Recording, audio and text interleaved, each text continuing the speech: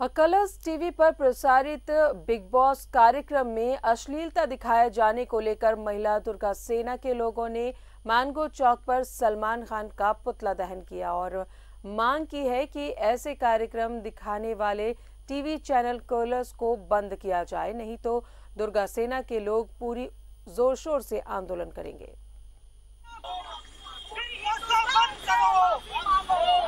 Big boss को बंद करो बंद करो बंद करो बिग बॉस को बंद करो बंद करो बंद करो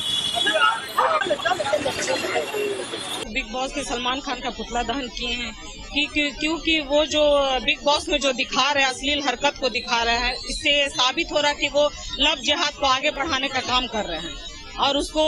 आगे बढ़ावा दे रहे हैं। इसलिए हम लोग सब मिल करके हम लोग महिला दुर्गा सेना की हम लोग सारी महिलाएँ पुरुष सबको मिल करके इसका हम लोग विरोध करते हैं।